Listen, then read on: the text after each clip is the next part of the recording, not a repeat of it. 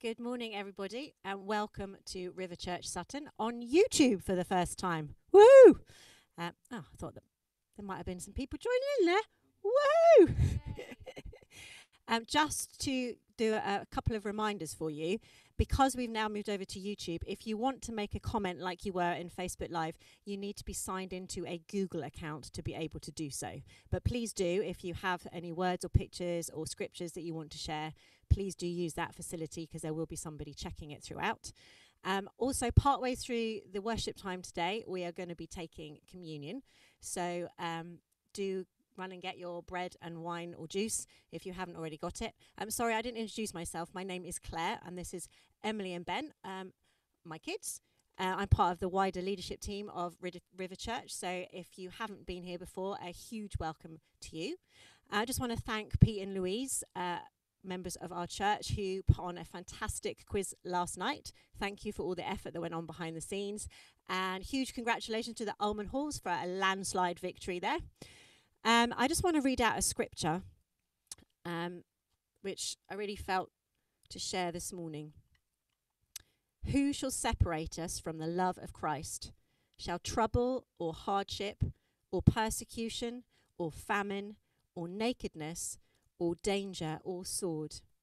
As it is written, For your sake we face day, death all day long. We are considered as sheep to be slaughtered. Slaughtered. No, in all these things we are more than conquerors through him who loved us.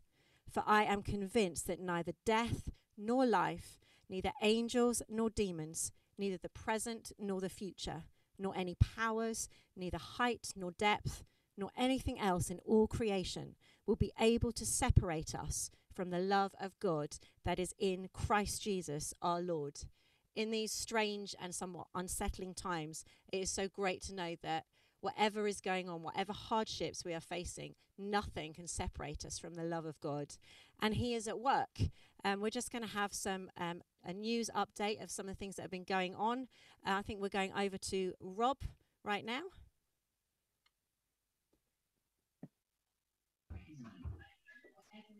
Wonderful. Good morning, everybody. Nice shot of someone shouting. Um, yes, it's wonderful to be with you this morning. Uh, my name is Rob, and um, this I'm is Abby. Abby. Um, we are um, part of the leadership in, in River Church, but we, um, as a church, have been uh, looking at and preparing for planting a new church in Epsom.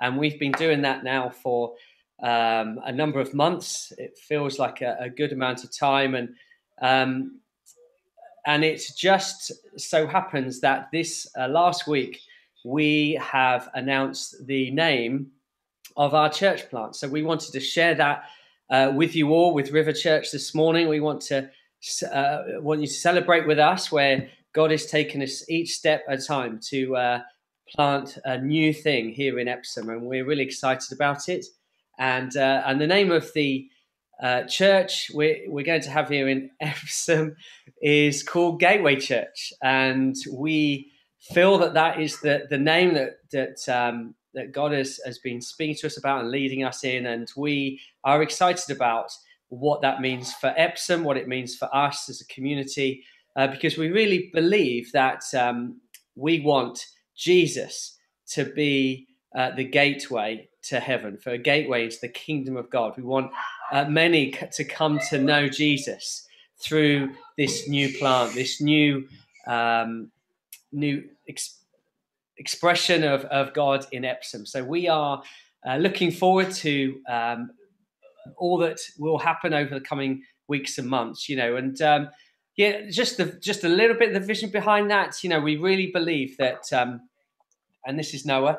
We really believe Hello. that uh, Jesus, we want Jesus to be lifted high. We want his name to be um, known in Epsom. We want the whole of Epsom to be changed because of Jesus. And we're excited about, um, you know, the fact that we want Jesus to be the gateway for many to know him, but also the gateway for people who don't know Jesus yet, but those that do know him, that we will grow and uh, grow in our understanding and knowledge of Jesus. Did you want to add? Alex, to that? Um, well, just that really, I guess the word gateway um, is a celebration, yeah, of Jesus that we want um, to partner with him to see his kingdom come in Epsom and the surrounding area. And so we're really excited about um, the name and um, what we're hoping to partner with Jesus in over, um, yes, the foreseeable future and beyond. Yeah, brilliant. So even though this, you know, everything, whole of life's up in the air, we really believe that God is calling us to Epsom, that God is doing things behind the scenes. God is doing a, a thing here in Epsom that we want to come alongside Him, His Holy Spirit, and um, and and see His kingdom come here in Epsom. So, oh, back to you, Claire. Thank you very much. Um, yeah, so we're going to start our worship time just by declaring that, yeah, God is on the throne and He is awesome. So we're going to worship Him. I'm just going to pray. Yeah, Father, I just thank you that you are at work in our lives, that you are at work even when we have to stay behind closed doors, so many of us. Um, and Father, we just invite your Holy Spirit to just mm. come and have your way, Lord, that while we might not be able to be gathered together all in one room, God, your Holy Spirit is with each one of us in our homes, whether we are gathered together with family or whether we are on our own. God, we just want to settle our hearts and prepare for worship now and say, Lord, come, have your way. We love you, we worship you. Amen. We're going to start by singing, Let Your Majesty Speak Peace to Me.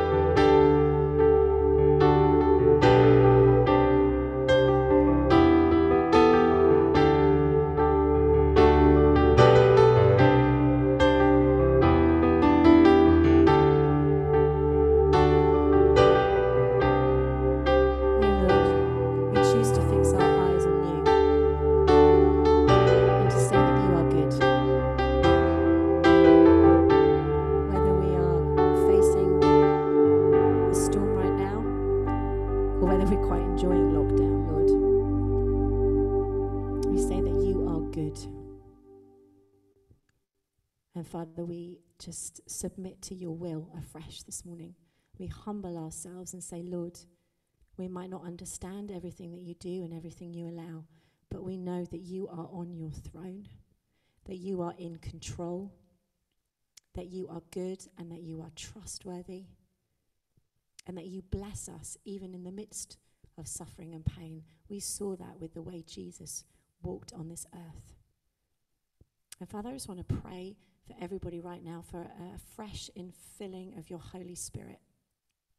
Lord, where people might feel scared, where they might feel dry, whether they might feel actually that they've really walked close with you this week and feel really refreshed. God, I just pray, whatever stage or state each person is in, Lord, that you'll pour yourself into them afresh. God, anoint them. Give them a sense of your peace, your joy. Father, we thank you that you come close to us in the good times and the bad. We thank you that you are our Father. Amen.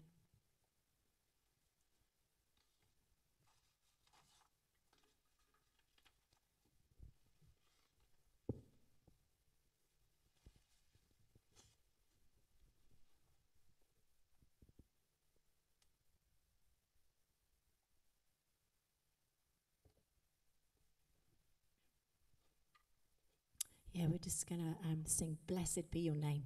Every blessing you give to us, Lord, we will pour back as praise to you.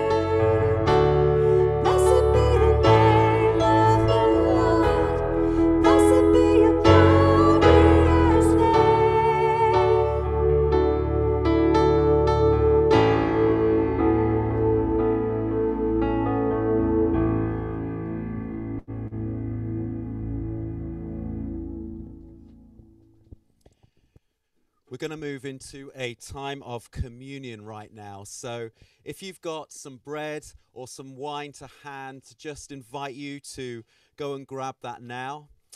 If you're a follower of Jesus, this is something that is incredibly special for us to be able to do that. You know, we might all be in separate homes right now, uh, even watching at different times of day, but the beautiful thing is, in Christ, we are one body.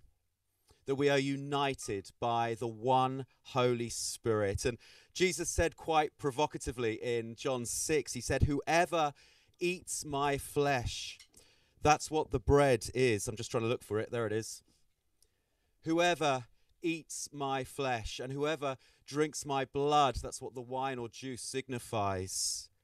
If you do these things, you abide in me and I abide in him. That's a really special promise, isn't it? So, wherever you are and however you are feeling this morning, know that Jesus is with you right now as we share this bread and wine together. He is our comforter. He is our rock. He is our refuge and our strength. He is our hope and our righteousness. Can anything separate us from the love of God? Romans says absolutely nothing can. So on the night Jesus was betrayed, he took the bread and after giving thanks, he broke it, saying, This is my body given for you. In the same way, he took the cup. And he said, This cup is the new covenant in my blood. Whenever you eat this bread and drink this cup, you proclaim the Lord's death until he comes again. Let's just pray.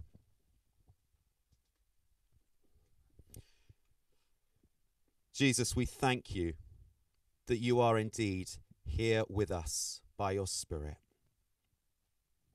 That because of the victory, your victory on the cross, sin, hell, and death have been defeated. And we can know a living hope, not just for today, but for tomorrow and for eternity. Thank you that Jesus, you are the bread of life. In you we find our sustenance, in you we find our strength.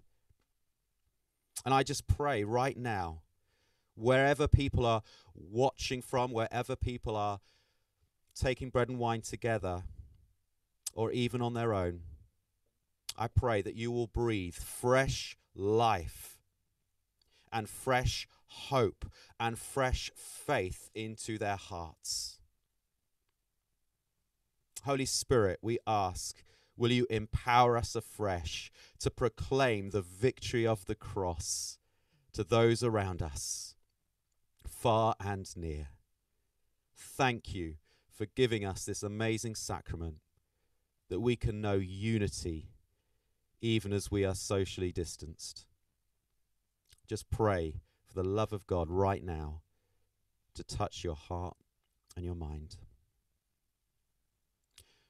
We're just going to have a moment now, just going back into worship. We're going to sing in Christ alone. Just use this time to reflect on all that Jesus has done. And, and if you don't yet know Jesus as your Lord and Savior, and you'd like to find out more about this hope and about this, this joy that we can know, then please do get in touch. There will be um, uh, ways of doing that at the end of the service, uh, emails and, and such. And also, if you just like prayer as well, that will also come up at the end of this service. But please do get in touch. We'd love to help you on your journey of faith. But let's now just reflect and respond to all that Jesus has done through this song. Amen. In Christ alone, my hope is found. He is my light, my strength, my song. We're going to start doing this, but feel free if you haven't taken your bread and wine yet, just to um, use this time for, for reflection and to do that and just join in whenever you want to.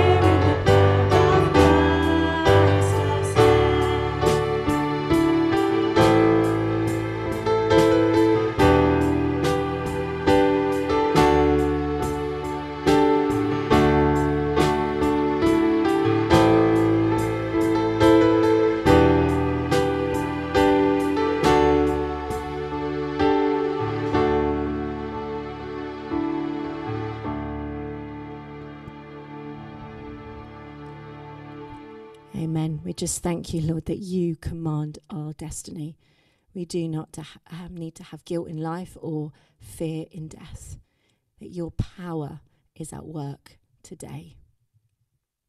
Thank you, Jesus. We are now um, going to move on. Um, and each week we've been trying to hear from somebody different in church. We've been looking um, and hearing from people on the front line.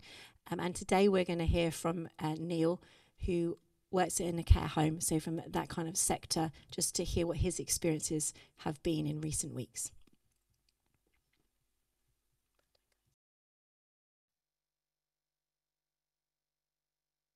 I hope you're well. I hope everybody at um, at River Church is is keeping safe. Alongside the the work that I do here in the art studio, I also work as a part-time admin- administrator for a small care home down in down in Purley. And Steve had asked if I could um, just share a, a message from from what it's like in the in the care home at the moment and there's no getting away from the fact that it's a tough time at the moment i don't i don't think in this industry i've i've been in in a period where we've seen so many residents die in such a short space of time and i think there's there's a lot of confusion within the homes there's a lot of fear within the homes i think it's it's very much a time when I've I've very much felt that I could push into my faith and I could I could definitely pray more at this time. I've been hugely supported by by both Steve and Rob and ever since coming to, to River Church I joined the the life group.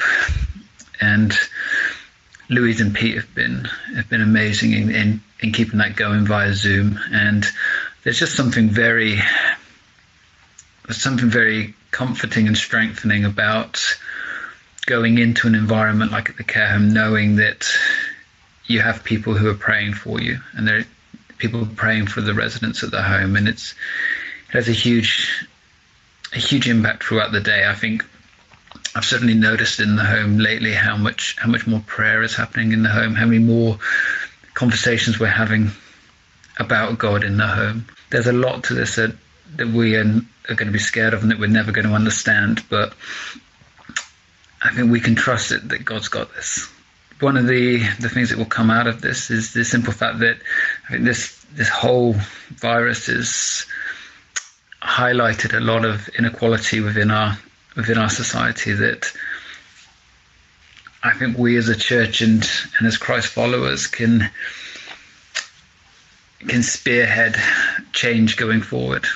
Even within the within the care sector, I work with I work with carers who at the start of the year were were classed as as low skilled workers, and now they're key workers. Now we we all go out out on our doorsteps on a Thursday evening and clap for them. So hopefully their work will be will be valued for for the immense effort and immense love that they put in they put into their work. Um, one of the hardest hardest point, parts of the care home is for the residents that, that are healthy and the residents that are have capacity is the home is on lockdown. They're unable to see their families.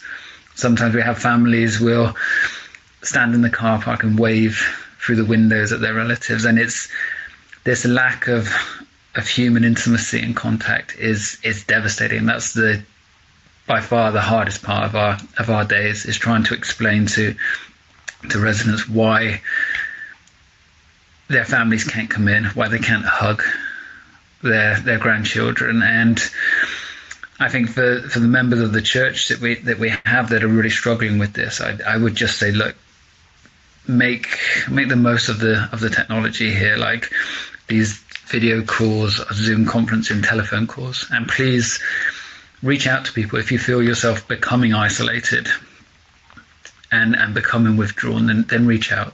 So on, on one of the days when, yeah, we we'd sat with a few residents as they died, and it was just it was a very very just a very tough day. And I remember at that point, Rob had sent me through a text which had a um, a part of a verse from um, Deuteronomy, which which said, The Lord your God, who is going before you, will fight for you.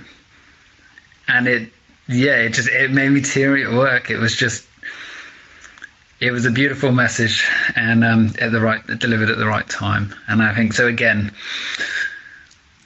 if if during your prayers, if you're thinking of somebody, then then reach out to them. Just reach out and let them know that you're thinking of them.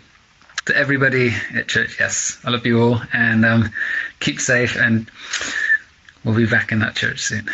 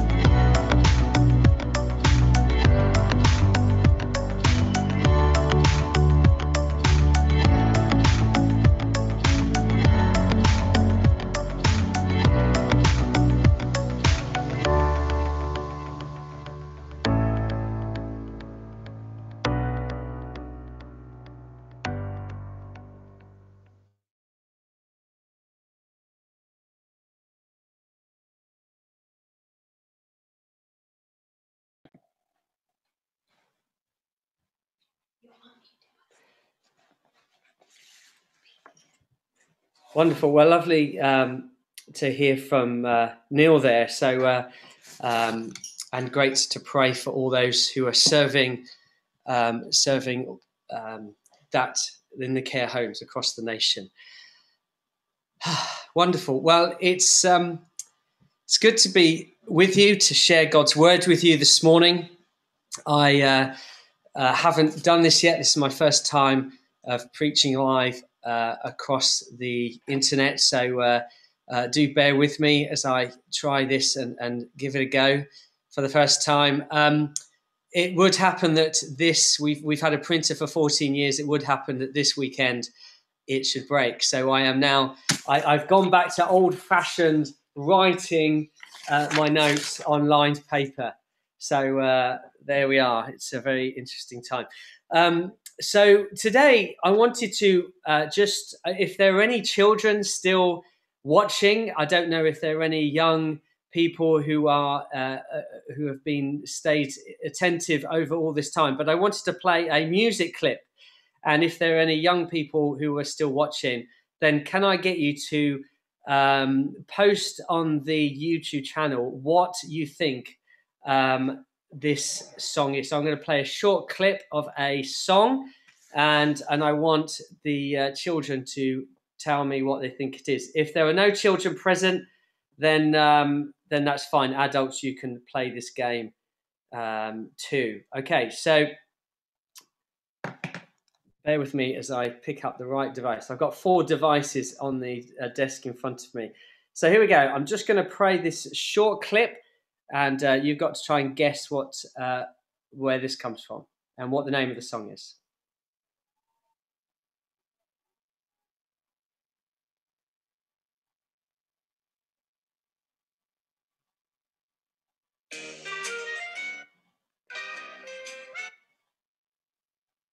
Right. So if you post on the YouTube, see if we got any um, posts of what people think that is. I'll try that again one more time. Could you hear that okay? Can I see some thumbs up in the uh, Zoom room? Brilliant. Okay, here we go. There we are. So um, I think I had some thumbs up. So I think. So I've got some adults saying, "Are we still counted as young?" Hmm, not sure. Um, uh, yes, of course, of course. So the the answer to the uh, question is um, well, we have no replies from uh, the YouTube channel, but we do in the Zoom room. So people say that it's Toy Story. So well done, those of you that got that right. Toy Story. And the name of the song is uh, you have a friend in me. So today I wanted us to um, to look at what it means to be friends with God in this time of lockdown. I think that it's an important thing and a message to remind ourselves of what it means to be God's friend, to be friends with God. Well done, Jackson. Jackson got it right. Brilliant. He obviously knows his uh, his films, and um, and he did post on YouTube. So I I have my my friendly assistant here. We had six people that got that right. Brilliant. So we have a lot more children listening in than I thought. Brilliant. So we are, uh, as I say, looking at um, what it means to be friends with God this morning, and I'm just going to try and uh, do this in 20 minutes. I've given myself. So let's see how we get on uh, with that. So, firstly, friendship with God. Now, in the film Toy Story, um, it was very much a story between Andy and his toys, the friendship he had with um, Woody in particular, but all of his toys, um, that they were friends.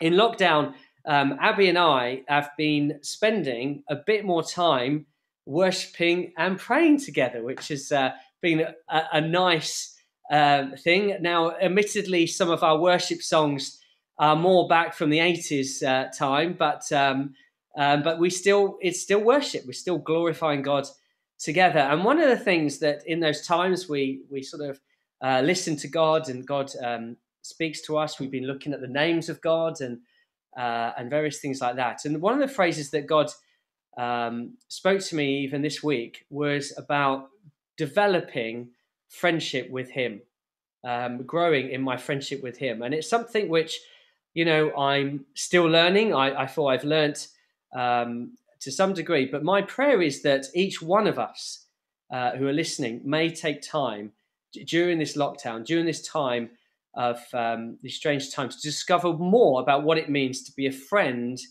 of God's. And I'm going to try something else now. Again, this is hopefully interacting a bit more with the um, um, uh, YouTube people who are listening. And sometimes we use scales, don't we, to gauge how we're doing in particular areas of life. We might say, um, my my fitness, if a scale of one to ten, my fitness is about an eight.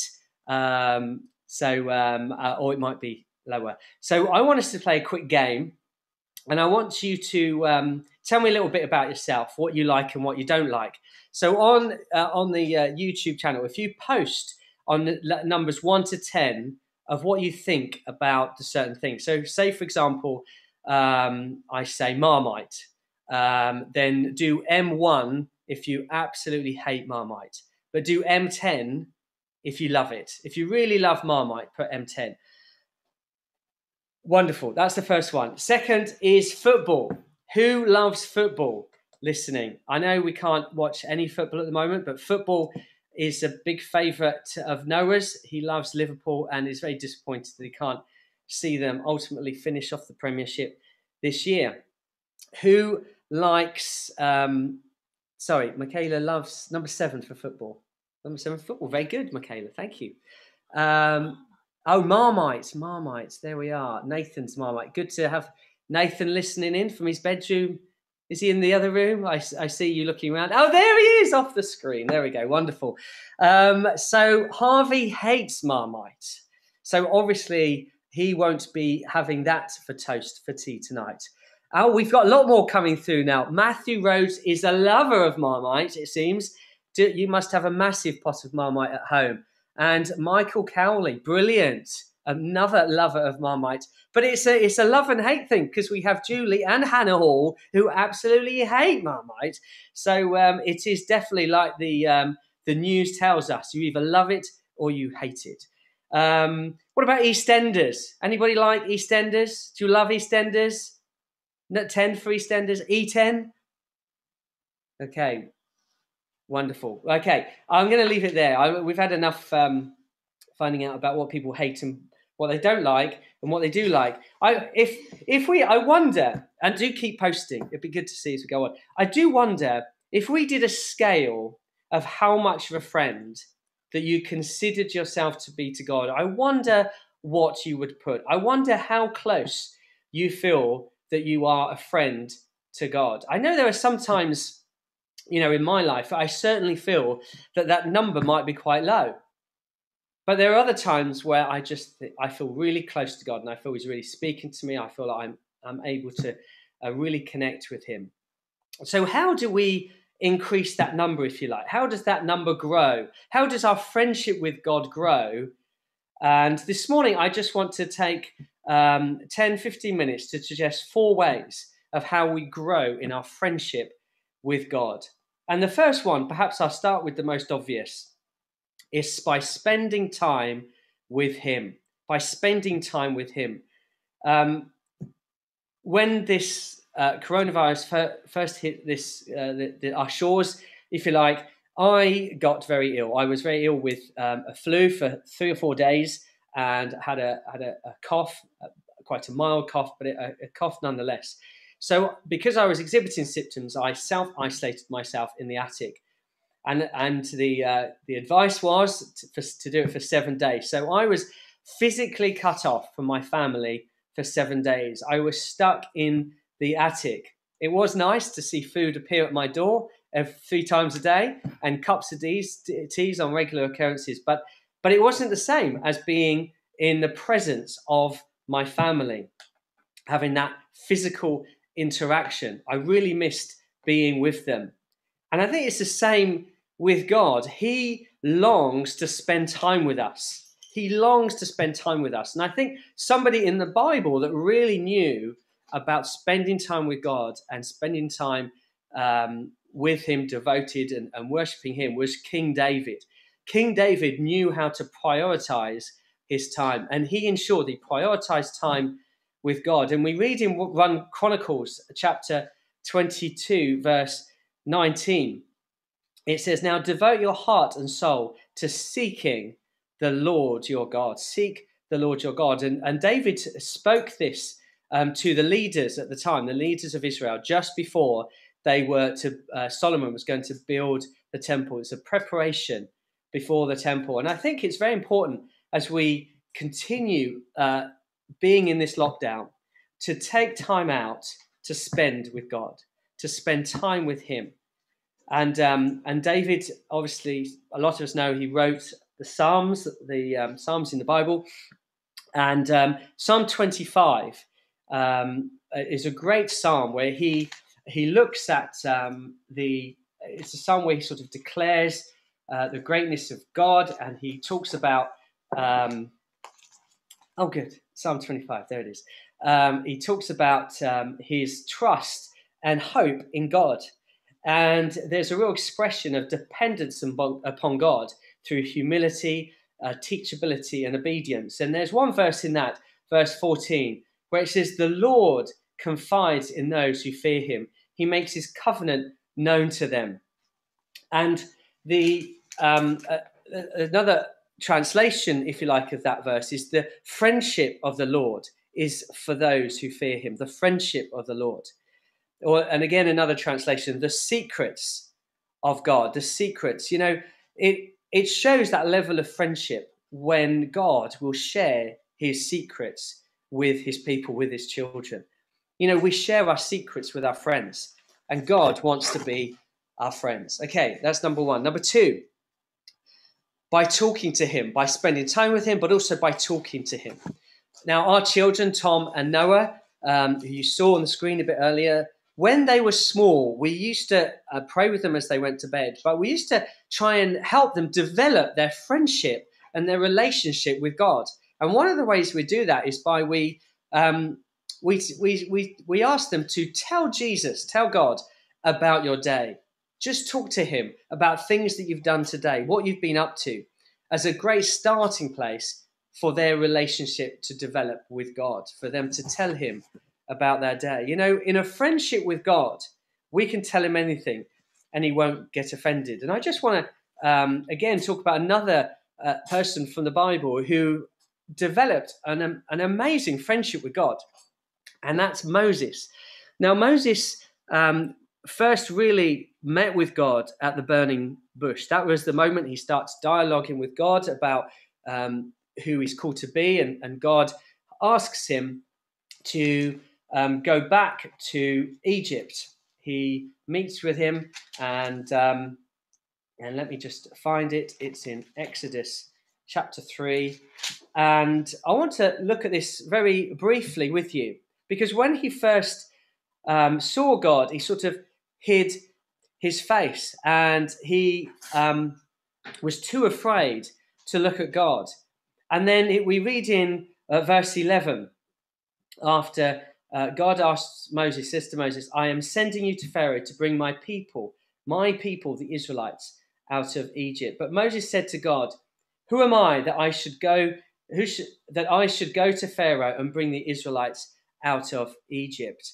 And I think, um, you know, this is a real moment where Moses engages with God.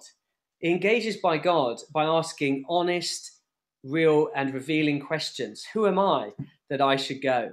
You know, why me? You know, it's a great place to be to recognize our inadequacies.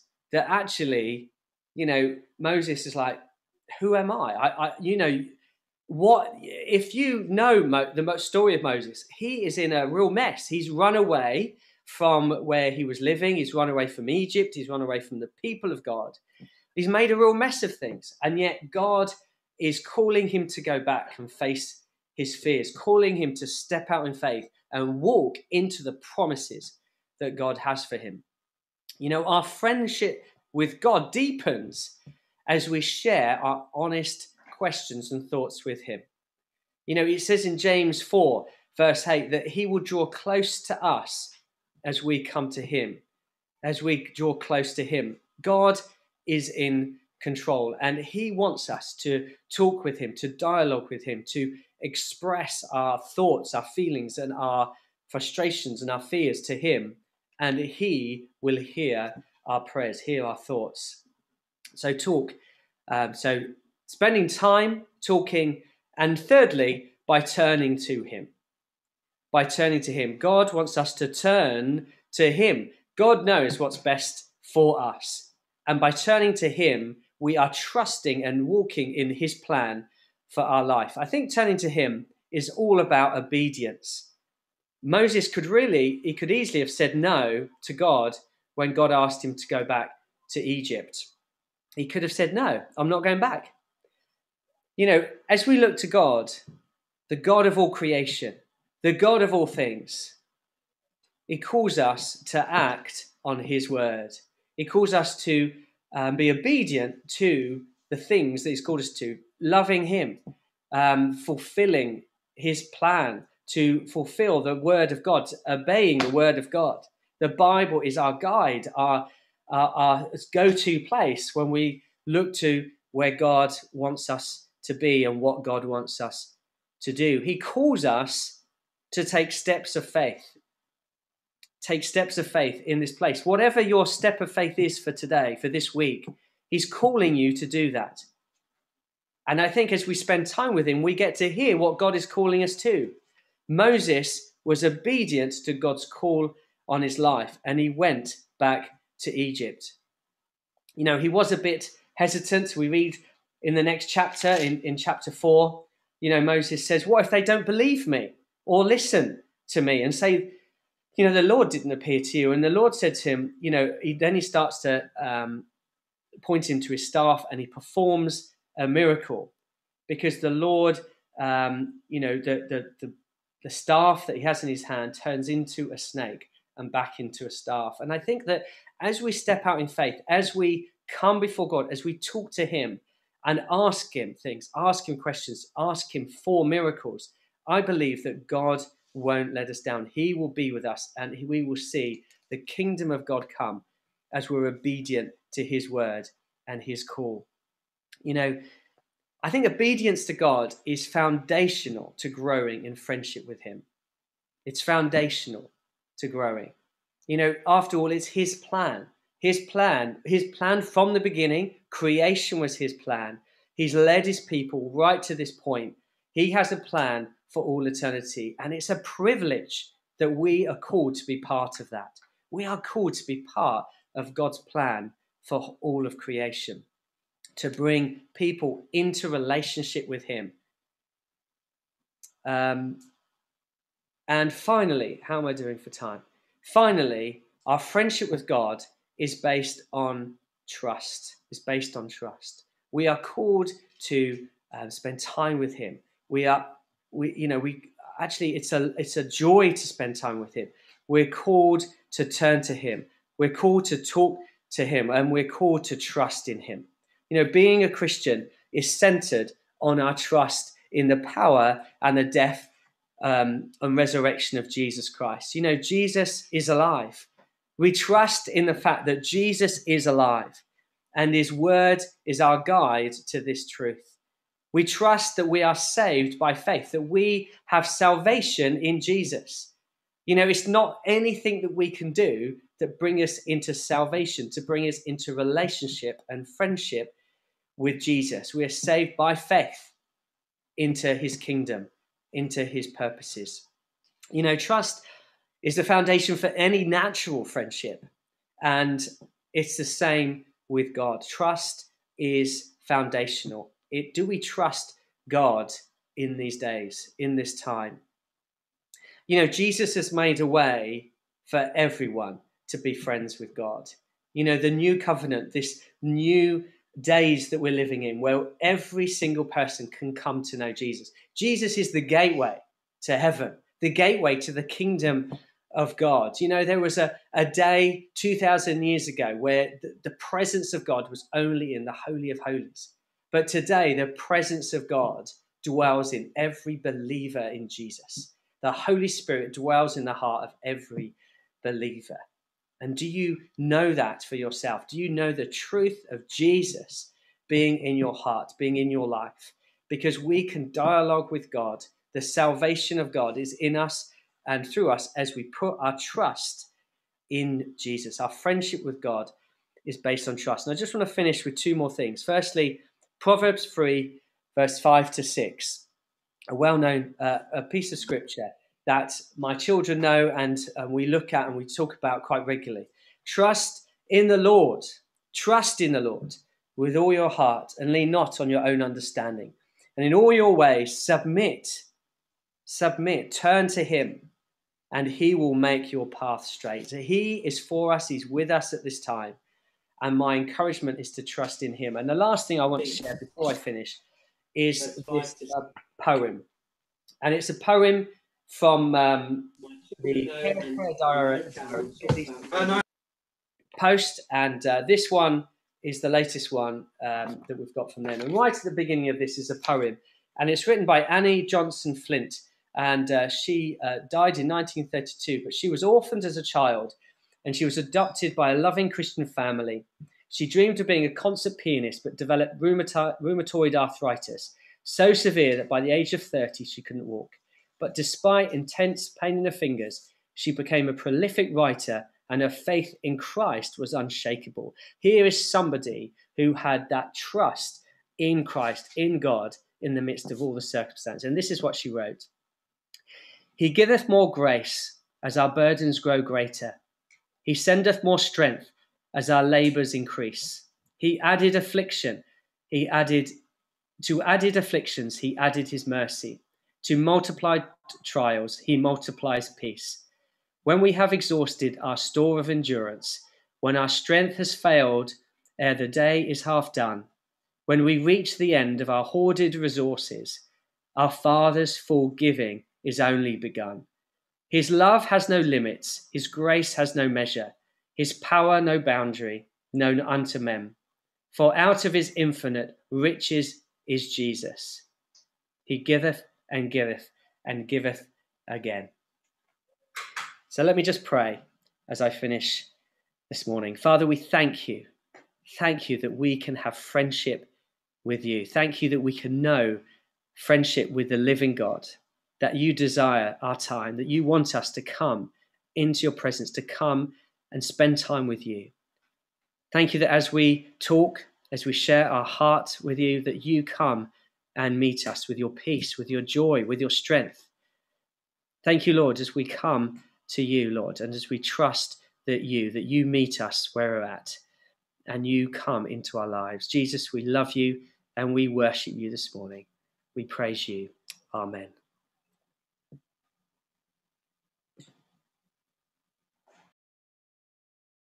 Amen. Thank you, Rob. Um, yeah, it's just incredible that we can call Jesus friend, isn't it?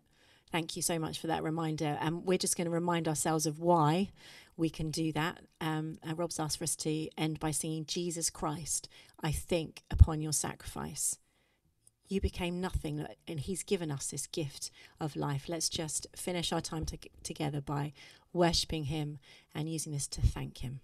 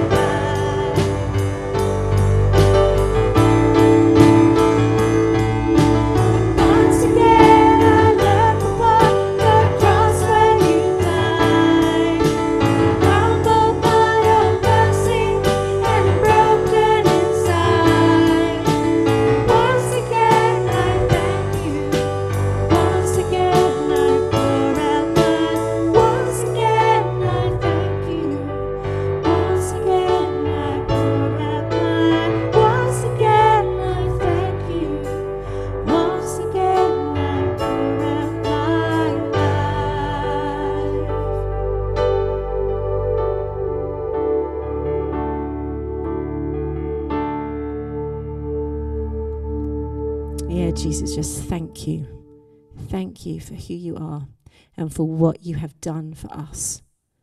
We just praise you and we are humbled afresh. We thank you for all that you have poured into us day by day. We thank you for what you've poured into us through worship and testimonies and the words today. Pray that, that will those things will be a seed in us that bear fruit over the coming days. Amen. It's been great to have you join us. Um, just a couple of things. I just want to say thank you to Emily and Ben again um, for really stepping up and helping me out in the worship week by week when I am leading. Um, it's it's so wonderful to have my kids with me. Um, so thank you guys. You're doing brilliantly. Um, and I know that we have got um, a great team of people that are normally part of our worship team and people behind the scenes. We've got some people working really hard behind the scenes now, learning all this new technology and doing a brilliant job at bringing this all to us. But I know that we have a big team um, that do worship and PA and words normally. And hopefully, you will have seen that I've sent you an email. Um, it feels like ages since we've been together. So I've just set up a Zoom meeting for us all on Tuesday night, just for us to share some encouragement, have a bit of worship together, um, and just pray together. So please, if you can make it on Tuesday, it'll be wonderful to see your lovely faces because I haven't seen some of you for ages. Um, so yeah. That is it for now. Um, have a wonderful week. There will be a slide coming up shortly, I think, once my face is gone.